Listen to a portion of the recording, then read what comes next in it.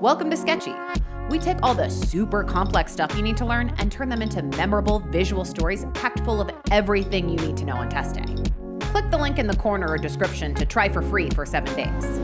Now let's get to it. Let's talk about the ovaries. Since we already covered PCOS, mostly we'll be covering ovarian tumors here. First, a foray into benign ovarian cysts, which include follicular and corpus luteum cysts. Then we'll move on to ovarian tumors which can be benign or malignant. In this sketch, we'll go through epithelial ovarian tumors. Then, in the next one, we'll cover the other main types germ cell tumors and sex cord stromal tumors. It's Easter in the ovary garden. Time to fill the ovary baskets with eggs and candy. Follicular cysts are the most common ovarian cyst in reproductive aged persons with ovaries. They're also called physiologic cysts. They occur if a mature follicle does not rupture but continues to grow.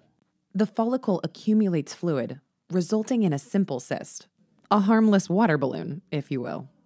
These cysts are usually asymptomatic and regress on their own. But if they rupture, they can cause a sterile peritonitis and severe pain. Large cysts are also a risk factor for ovarian torsion.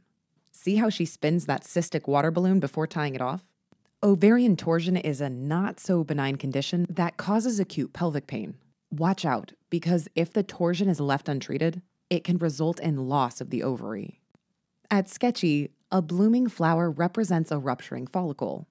After rupture, when the oocyte is expelled into the fallopian tube, the corpus luteum, or yellow body, is left behind in the ovary and secretes progesterone.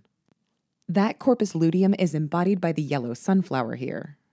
It turns out that the corpus luteum may form a cyst. In fact, it's the most common ovarian cyst found in pregnant persons. In early pregnancy, the corpus enlarges. When fluid accumulates in the enlarging corpus luteum, a cyst forms. Fortunately, the majority of corpus luteum cysts regress spontaneously as the pregnancy progresses. Like follicular cysts, they can also cause significant pain if they grow large enough or rupture.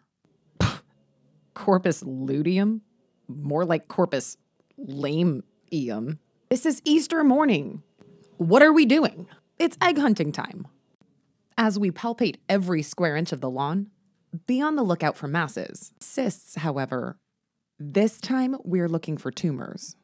Ovarian tumors largely affect persons with ovaries after menopause. The median age of presentation is the 60s, and peak incidence is in the 70s.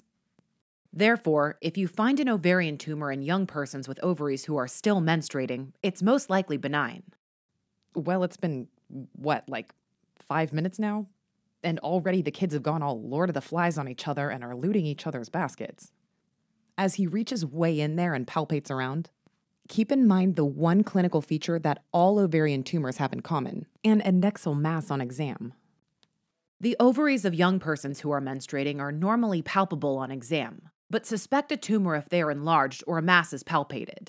And always suspect malignancy if the ovaries are palpable in an older person with ovaries who is postmenopause.